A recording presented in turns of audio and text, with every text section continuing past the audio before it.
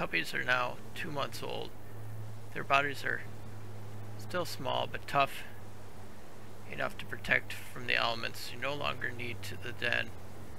Fleas make it on uh, anyway, it's the time to journey to place, summer sites, uh, any good place, area, choose your home base for the summer. You need a spot with sun and shade, tall grass, puppies can hide while you are away, nearby water source. Since elk herds have migrated to higher elevations, you might want to move there as well. Check the M map, see the potential sites, nearby sites will also appear on the compass. Uh, decide on one, then lead your pups to their new home. Watch out for predators as you travel. If you need to go hunting while you're between homesteads, find a patch of tall grass and woof ye. Tell your pups to hide themselves in it. There will be safe while you are away. Hogarth's predator's approach, you need to chase it off.